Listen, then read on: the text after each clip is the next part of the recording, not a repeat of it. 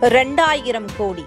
திமுக அரசை சிக்கலில் இழுத்துவிட்ட பெண் அதிகாரி சவுக்கு கசியவிட்ட பகீர் தகவல். நேற்று தமிழக அரசு சார்பில் ஒரு அரசாணை வெளியானது. அதில் கடலில் நதிகள் சென்று சேரும் இடங்களில் பிளாஸ்டிக் கழிவுகளை தடுப்பதற்கான தமிழக அரசின் புதிய திட்டம் குறித்து தெரிவிக்கப்பட்டுள்ளது. எதிர்காலத்தில் கடலோர பகுதிகளின் உயிரினங்களையும் பாதுகாக்கும் வகையில் ஆயிரத்து அறுநூற்று எழுபத்தி ஐந்து கோடி செலவில் தமிழ்நாட்டின் நெய்தல் மீட்சி இயக்க திட்டத்தை செயல்படுத்த தமிழக அரசு அரசாணை வெளியிட்டிருக்கிறது.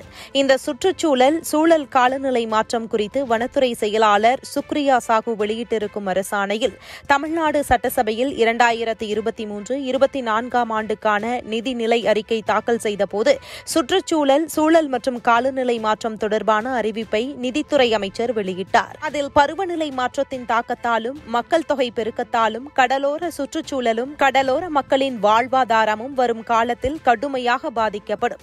கடல் அரிப்பை தடுக்கவும் கடலில் மாசுபாட்டை குறைக்கவும் கடலில் உயிரியல் பன்முகத்தன்மையை பாதுகாக்கும் தமிழ்நாடு நெய்தல் மீட்சி இயக்கம் திட்டத்தை இரண்டாயிரம் கோடி மதிப்பீட்டில் உலக வங்கி நிதியுடன் அடுத்த ஐந்து ஆண்டுகளில் அரசு செயல்படுத்த உள்ளது என குறிப்பிடப்பட்டிருந்தது.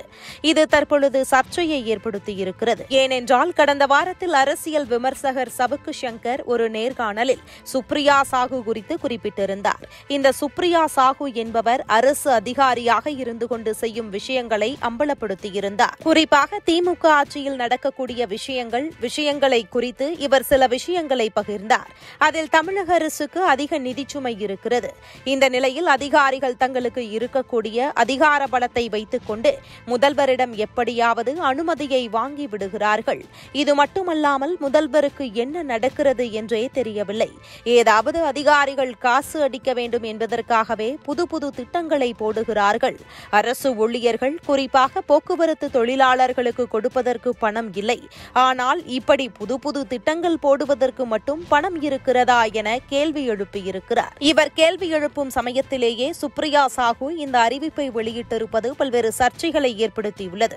அரசு இயந்திரம் மிகவும் பலவீனமடைந்துள்ளது என அரசியல் விமர்சனங்கள் குறித்து அரசியல் விமர்சகர்கள் கேள்வி எழுப்பியிருக்கும் நிலையில் இப்படி இரண்டாயிரம் கோடி ரூபாய்க்கு புது திட்டம் வந்திருப்பது குறித்து மேலும் பல விமர்சனங்கள் எழுந்திருப்பதும் குறிப்பிடத்தக்கது. மேலும் இப்படி வனத்துறை செயலாளர் சுப்ரியா சாஹூ மற்ற தொழிற்சங்கங்கள் ஆசிரியர் சங்கங்கள் அரசு அதிகாரிகள் போன்றவர்கள் போராடும் வேலைகள் தன் துறைக்கு மட்டும் இரண்டாயிரம் கோடி ரூபாய்க்கு எப்படி நிதியை வாங்கி புது திட்டத்தை செயல்படுத்த அனுமதி கிடைத்தது என ஒரு கேள்வி எழுந்திருப்பதும் குறிப்பிடத்தக்கது. தொடர்ச்சியாக பின்னடைவுகளை சந்தித்து வரும் திமுக அரசு நிர்வாகிகளையும் அரசு அதிகாரிகளையும் சரி செய்யவில்லை என்றால் மேலும் பல பின்னடைவுகளை சந்திக்கும் என ஏற்கனவே பல அரசியல் விமர்சனங்கள் எழுந்து வரும் சூழலில் இப்படி அரசு அலுவலகங்கள் மற்றும் தொழிற்சங்கங்களை தவிக்க விட்டு வைத்து இரண்டாயிரம் கோடி ரூபாய்க்கு புது திட்டம் தேவையா என விமர்சனம் எழுந்திருப்பது குறித்து முதல்வரும் சம்பந்தப்பட்ட அமைச்சரும் இதுவரை பதில் கூறவில்லை என்பதும் குறிப்பிடத்தக்கது.